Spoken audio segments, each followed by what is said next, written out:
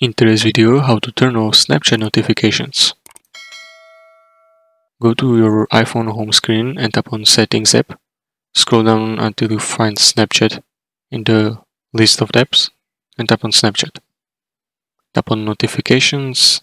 At the top you will see an option for Allow Notifications. Toggle this switch off to disable notifications from the Snapchat. When you turn off Allow Notifications, you will no longer see any Snapchat notifications on your lock screen or any receive message until open app. If you only want to turn off specific types of notification instead of all of them, you can do this directly with Snapchat. And Snapchat, tap on profile icon in the top left corner screen and tap on gear icon to open settings and scroll down and tap on notifications. Here, you will see notification options for Snapchat.